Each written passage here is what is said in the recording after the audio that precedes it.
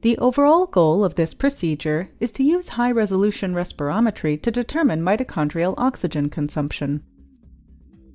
This method can help answer key questions in the syndromes and diseases associated with mitochondrial dysfunction, such as sepsis, diverse neurological diseases, and age related disorders. The main advantages of this technique is that it has higher sensitivity and the ability to perform substrate uncoupler inhibitor titrations experiments with a small number of biological samples such as intact or permeabilized cells. Demonstrating the procedure will be Sandra Nansos, a technician from my laboratory.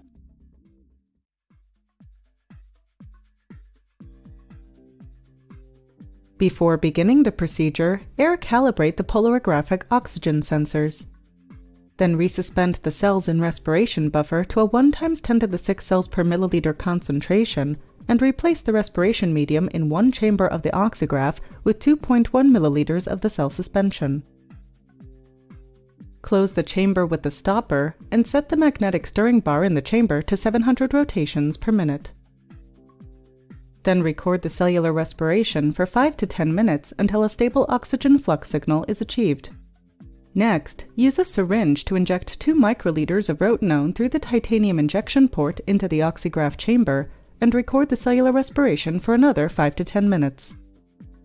When a stable oxygen flux signal is achieved, inject 20 microliters of 1 molar succinate, followed by 10 microliters of 0.5 molar ADP.